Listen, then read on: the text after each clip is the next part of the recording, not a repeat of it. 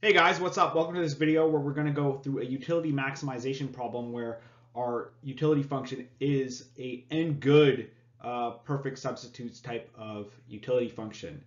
And in this case, the Marshallian demands are characterized in this piecewise fashion as follows, where if our marginal rate of substitution between xi and xj is greater than the price ratio of good i and good j for every j, then we put all our income on good i. So I should just put a little pi down here and put this for every i here. And if the marginal rate of substitution is you know the same for every good i, right, we can have really an infinite number of combinations between the interval of 0 to in investing our entire amount into good i. And if our marginal rate of substitution is less than pi over pj for some j, meaning that we just need to find one uh, good j where this goes and holds, then we put nothing in this, uh, you know, good I here.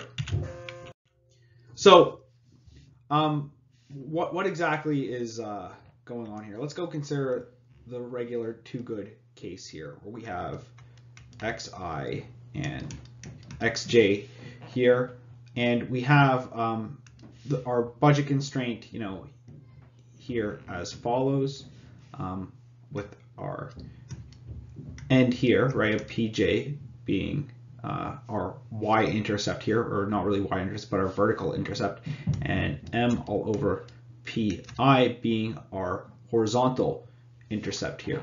Now, um, for some arbitrary preferences, right, which are perfect substitutes, we can either have something like this where we have a corner solution right here, or if we have a different structure of preferences, we can go and we can have a corner solution up here.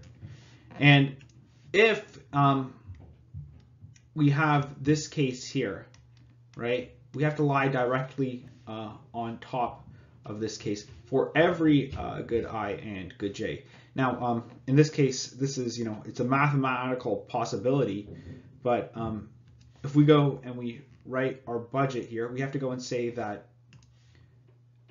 alpha i is equal to pi for all i, right, in our system. So this is possible. It's not very likely, but we require each of these points to be basically, uh, you know, in terms of their marginal utility, be equal to the prices there. So um, this is how we think about uh, our Marshallian demands in a n good case.